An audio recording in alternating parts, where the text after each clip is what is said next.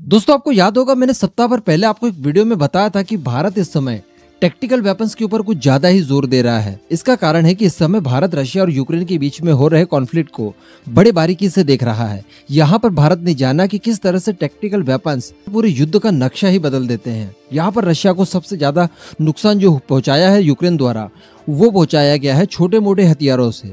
और भारत की अगर बात की जाए तो भारत की जो टेक्टिकल वेपन्स है, वो यकीनन शानदार है।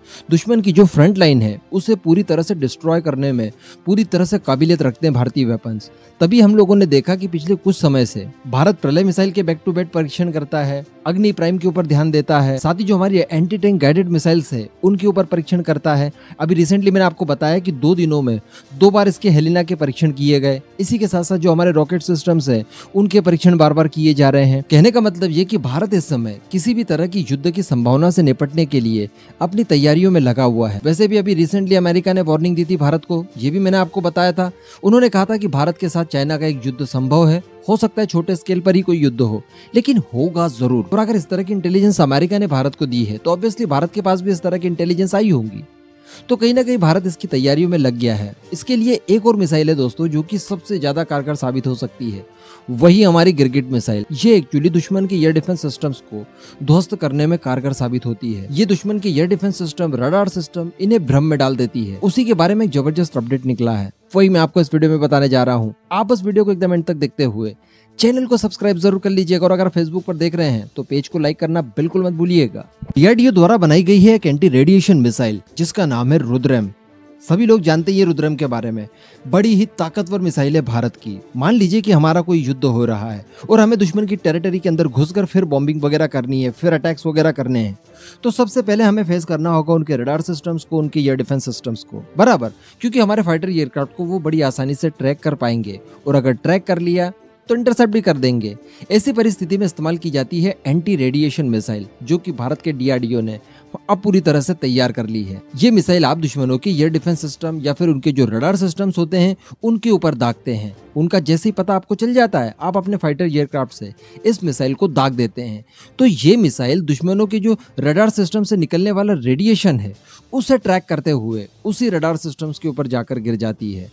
और सबसे बड़ी बात है कि ये उन्हें भ्रमित कर देती है, उन सिग्नल्स को ब्रेक कर देती है। ये मिसाइल तो उन सिग्नल्स को पहचान लेती है, लेकिन वो सिग्नल्स इस मिसाइल को पहचान ना पाए, इसको वो ब्रेक कर देती है। तो कहने का मतलब कि दुश्मन की ये डिफेंस सिस्टम वगैरह इनको पता भी नहीं चलता कि कब रुद्रम मिसाइल आकर चली गई और पूरा खेल कर गया।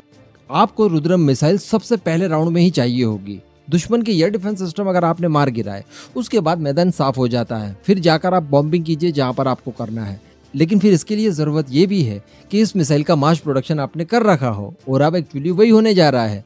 मैं आपको बता दूँ कि डीआरडीओ जल्दी ही इसके लिए टेंडर जारी करने वाला है, जिसमें बताया जा रहा है कि कई सारी कंपनियाँ हैं, हमारा बीडीएल भी है एलएनटी भी है और इस तरह की जितनी भी प्राइवेट और सरकारी कंपनीज़ है, सभी मिलकर यहाँ पर बिड सबमिट करेगी, जिसकी बिड सबसे ज़्यादा किफायती साबित होगी डीआरडीओ के लिए। डीआरडीओ उसके साथ कॉन्ट्रैक्ट कर लेगा, उसे टेक्नोलॉजी सौंप देगा, उसके बाद वो मिसाइलों का प्रोडक्शन करके हमारी सेनाओं को सौंप देगा। तो इस तरह से बताया जा रहा है। अभी वैसे डिस्क्लोज नहीं किया गया है कि कितने नंबर में इनका मैन्युफैक्चरिंग करना है। लेकिन मास प्रोडक्शन है ऑब्वियसली ये लंबे चौड़ी क्वांटिटी में इनकी मैन्युफैक्चरिंग की जाएगी। इसकी रेंज में आपको बता दूँ कि 250 किलोमीटर है और ये किसी भी एयर डिफेंस सिस्टम के खिलाफ बहुत ही ज़्यादा प्रभावी साबित होगी। बताया जाता है कि रुद्रम मिसाइल को अगर हम लोग ब्रह्मोस मिसाइल के कॉम्बिनेशन के साथ फिर दागते हैं तो एस फोर भी हर हाल में चकनाचूर होकर रहेगा। ये इसकी कैपेबिलिटी है। इसके ट्रायल्स वगैरह, इसके टेस्ट वगैरह पहले ही कंडक्ट कर लिए गए थे। कहने का मतलब ये कि पूरी तरह से इसे क्लियरेंस मिल गया था मास प्रोडक्शन के लिए। वैसे इसके बाद में रुद्रम टू और रुद्रम थ्री जैसी मिसाइलें भी आने वाली है। जल्दी ही रुद्रम टू का भी बताया जा रहा है कि परीक्षण किया जा सकता है डीआरडीओ द्वारा। इसी के साथ साथ ये भारत के लगभग सभी फाइटर एयरक्राफ्ट के साथ इंटीग्रेट की जाएगी। तेजस मार्क टू के साथ भी की जाएगी। मैंने आपको कुछ दिन पहले बताया था वीडियो बनाकर कि एम का साथ भी इसे इंटीग्रेट की जाएगी। एम का की कैपेबिलिटी होगी। चार रुद्रम मिसाइल्स की। इसी के साथ साथ सू थर्टी एम के आई तो कहने का मतलब ये भारत की सबसे खास और सबसे खतरनाक मिसाइल है। दुश्मन की रीढ़ तोड़ने के लिए सबसे पहले हम इसी मिसाइल का इस्तेमाल करेंगे। अब इस पूरे मुद्दे पर आपका जो भी मानना हो, नीचे कमेंट करके ज़रूर बताइएगा।